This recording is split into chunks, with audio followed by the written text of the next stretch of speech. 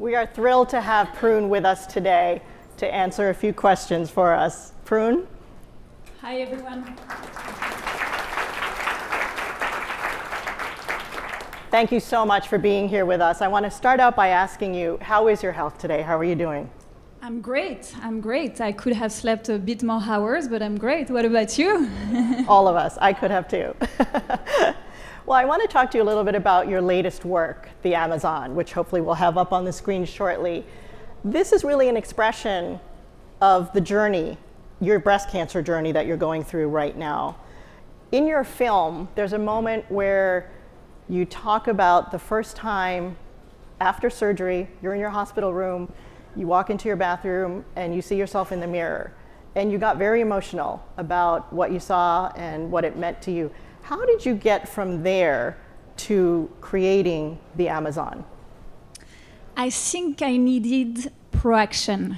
As a sculptor, I felt through reconstruction that I was becoming the sculpture.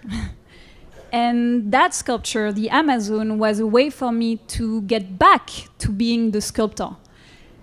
I was feeling a bit, you know, like a patient. You have to be patient even when you can walk to the surgical room. They're gonna roll you on a gurney, and I needed that proaction. The the movie helped me to do that by, you know, saying action to myself in the corridors of the hospital. I was getting back into the choice of my life. But the sculpture, I think, was a very important key moment for me because it, it became my catharsis. That rite of passage, and I, I, I, think rituals are important when you're ill to celebrate every different steps. And at the end of the treatments, I decided to create this sculpture, like a celebration. Why an Amazon? So Amazons uh, are a tribe of women that uh, are warriors and the mythology says that they were cutting their breasts to be better with their bow and arrow. And I decided to do my own. I felt in love with one I saw at the Met, a life size, and I did my own version of it. And the idea was to transport it like a journey, like to symbolize the cancer journey on the river, the Hudson River, which I did on a barge, that was my dream, until a place where I invited all my family and friends to come for a celebration, a performance where I cut her breasts to symbolize the fact I was becoming a sculptor again. And also, I asked all my family to light. She's recovered of incense sticks. We don't see it here, but she, half of her body is recovered of incense sticks, like acupuncture needles, which were that technique was a real pillar for me um, throughout the treatment because, for example, as a patient, uh, you know, you have so many side effects when you go through chemo. And if you use acupuncture at the end of your fingers, you protect your nerves. And as a sculptor, I didn't want to lose the sensation at the end of my fingers. So acupuncture really helped me. And I decided to recover that sculpture with thousands of incense sticks symbolizing uh, acupuncture needles, mm. and all my family and friends littered all of them. One of the themes in your documentary is about how your life seemed to imitate your art.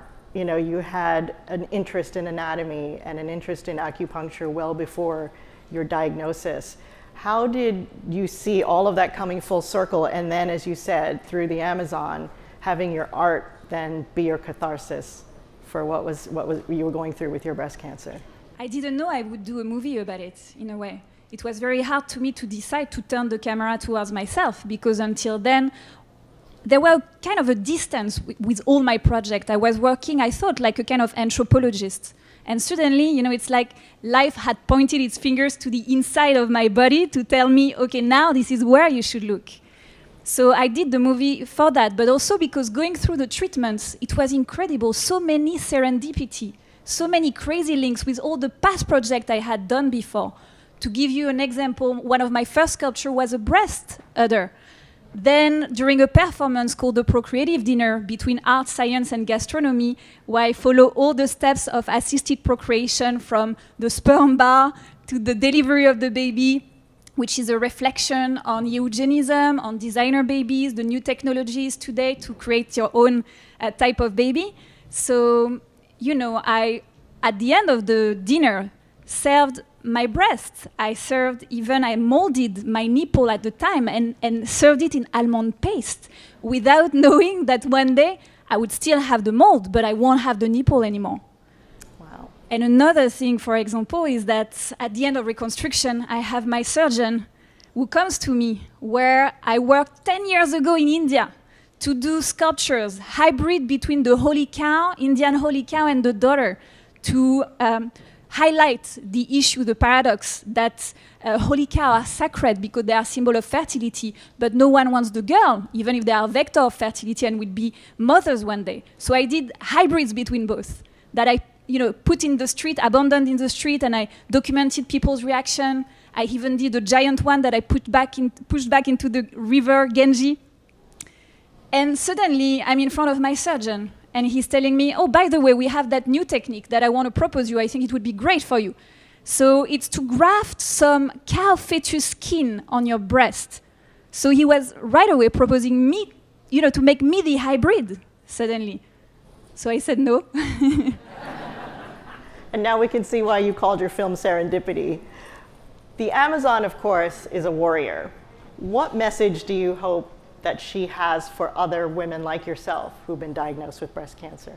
So another serendipity is like I made 108 warriors before knowing that I would become one.